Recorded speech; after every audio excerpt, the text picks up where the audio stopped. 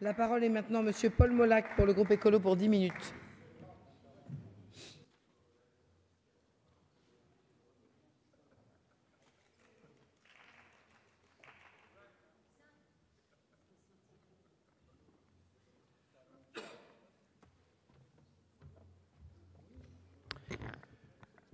Madame la présidente, madame la ministre, madame la rapporteure, mes chers collègues, la proposition de loi que nous examinons aujourd'hui est un nouvel ajustement de la réforme des collectivités territoriales de décembre 2010.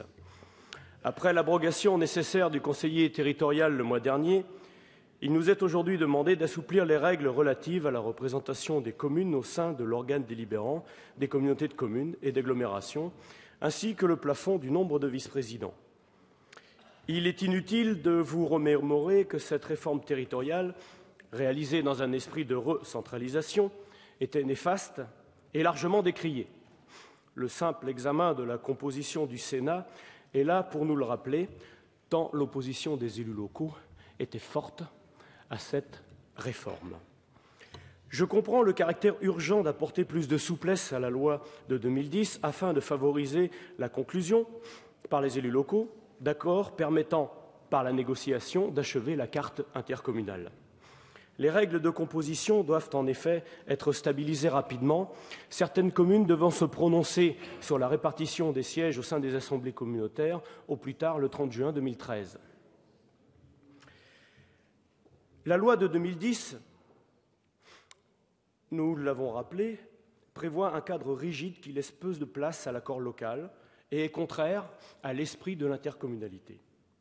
L'application des dispositions de la loi 2010 ne permet pas toujours de prévoir une représentation politique qui reflète le poids démographique des communes, ce que regrettent aujourd'hui les élus locaux qui demandent à faire confiance à l'intelligence territoriale.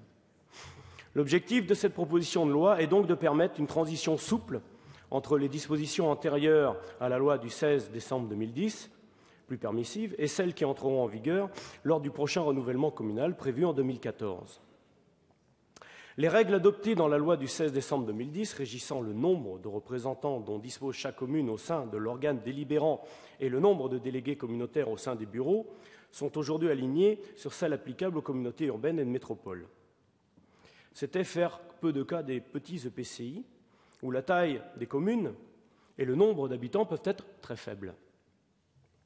Dès lors, le passage de 10 à 25% du nombre de délégués dans le cadre d'un accord local obtenu à la majorité qualifiée, prévu par l'article 1 de cette proposition de loi, permettra d'assumer une représentation plus conforme à la réalité communale.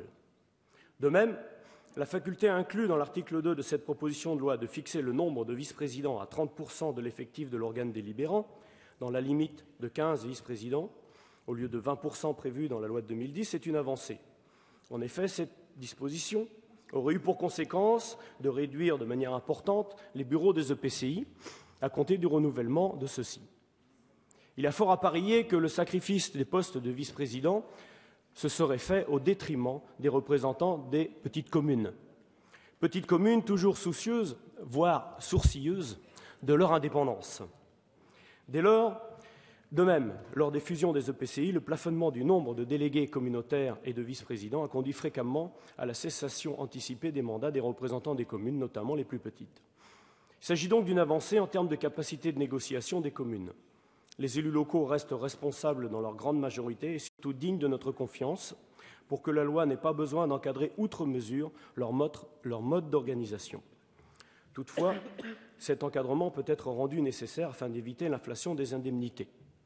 C'est précisément là aussi se situe une autre avancée par rapport au texte de 2010, la Commission ayant adopté un amendement de notre rapporteur visant à renforcer juridiquement le gel de l'enveloppe budgétaire destinée au versement des indemnités de fonction de vice-président. On donne ainsi une plus grande marge de manœuvre aux collectivités pour fixer leur nombre de vice-présidents, en ne faisant pas peser de menaces supplémentaires sur les finances locales. En ce qui concerne l'article 4, qui vise à assouplir les orientations fixées au schéma départemental de coopération communale, nous comprenons le souci de vouloir préserver un exercice efficace de certaines compétences de proximité assumées par les syndicats intercommunaux. En effet, la suppression d'un syndicat de communes ou d'un syndicat mixte n'est aujourd'hui pas subordonnée à la reprise de ses compétences par un EPCI à fiscalité propre. L'article 4 souhaite rendre obligatoire la reprise de ses conséquences. Toutefois, cet article laisse à penser que les schémas départementaux de coopération intercommunale devraient prendre la responsabilité de définir les compétences des EPCI, alors qu'il revient à chaque EPCI de fixer ses compétences. Cela serait accorder une, dérogation grave au principe de libre administration des collectivités locales. Surtout, cette disposition est éloignée de l'objet de la présente proposition de loi. Ce sont les deux raisons qui nous amèneront à voter pour l'amendement de suppression de cet article présenté par le groupe SRC. Au final, avec cette proposition de loi, nous sommes donc en présence d'un assouplissement bienvenu de l'encadrement des collectivités locales, sans faire peser de charges supplémentaires aux finances locales. C'est pourquoi nous voterons pour cette proposition de consensus. Cela ne doit toutefois pas nous dédouaner d'une réflexion plus poussée sur le sujet lors du prochain euh, vote de l'acte 3 de la décentralisation. En effet, on rappellera que la rationalisation de la carte intercommunale initiée par la loi du 16 décembre 2010, soulève la question du sort des compétences aujourd'hui exercées par les syndicats intercommunaux. D'autres questions ayant trait à l'intercommunalité devront être traitées lors de l'examen des deux projets de loi à venir sur la décentralisation et les modes de scrutin aux élections locales. La question de l'élection des délégués communautaires il semblerait, à la vue des débats de ce matin en commission de la loi euh, du Sénat, que l'on s'achemine vers un système de fléchage. S'il s'agit d'une avancée, il conviendrait également d'entamer une réflexion sur la nécessité, à plus ou moins court terme, d'introduire au moins une part d'élections au suffrage universel direct des représentants des EPCI. Rappelons que ceux-ci exercent des responsabilités de plus en plus importantes au fil des ans et qu'ils prélèvent plus de 20 milliards d'impôts locaux. En ce qui concerne la parité, pour les communes de plus de 1500 habitants, cela ne devrait pas poser de problème. Espérons que les autres communes seront, quant à elles, soucieuses également de mettre la parité dans leur liste. En somme, c'est un large débat que nous demandons sur le rôle que nous souhaitons donner aux intercommunalités. Pour nous, il s'agit de faire des intercommunalités un échelon territorial en soi, basé sur le bassin de vie pour une meilleure prise en compte des préoccupations locales. Les intercommunalités, reconnues et renforcées comme collectivités territoriales de plein exercice, se devront d'être le moteur, avec les régions, du, nouveau pacte territorial français. Il convient en effet de mettre en concordance les territoires vécus avec les institutions. Ainsi, le fait de faire fusionner les pays et les EPCI sur le même territoire aurait l'avantage d'allier la partie prospective, qui est choix au pays, et la partie gestion, qui est caractéristique des EPCI.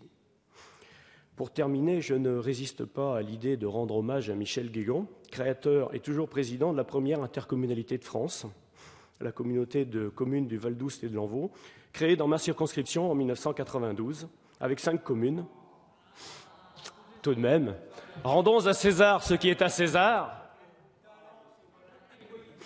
Elle regroupe aujourd'hui 16 communes et près de 20 000 habitants. Cet esprit pionnier est une incitation pour nous tous à ne pas avoir peur de faire preuve d'audace et d'innovation dans la définition du nouvel ordre institutionnel français et donc l'acte 3 de la, décentralisation. Je vous remercie, chers collègues.